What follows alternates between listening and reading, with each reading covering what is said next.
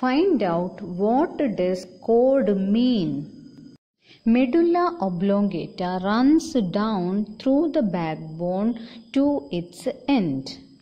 This continuation of medulla oblongata through the backbone is called a spinal cord. In the photo, we can see that the spinal cord is protected inside the backbone. This spinal cord connects brain with the lower parts of our body. Informations are transmitted from the brain to body parts and from the body parts to brain through spinal cord. Spinal cord has the width of our little finger and length of 40 to 50 centimeter. Spinal കോഡിന് നമ്മുടെ ചെറുവിരലിന്റെ അത്ര വണ്ണാണ് ഉള്ളത് how does spinal cord remain in contact with body parts it is through nerves. What are nerves? These are the thread-like structures starting from spinal cord and ending in body parts. They are made up of nerve cells or neurons. Nerves form a network inside our body. They transmit messages from body parts to brain and from brain to body parts. Nerves are of three types. They can be sensory nerves, motor nerves, or mixed nerves. Sensory nerves carry the signals from sense organs to brain. In the photo, you can see our eyes seeing a glass of water and this information is taken to brain. Motor nerves extend from brain to muscles.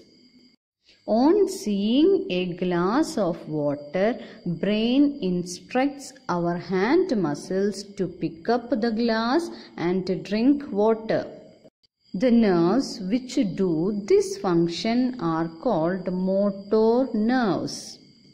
The feelings felt by our sense organs like sight, sound, smell, taste, pain, heat, cold, all these are taken through sensory nerves to brain.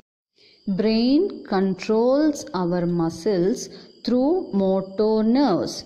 Brain sends signals through motor nerves to instruct our muscles to expand or contract to cause movement.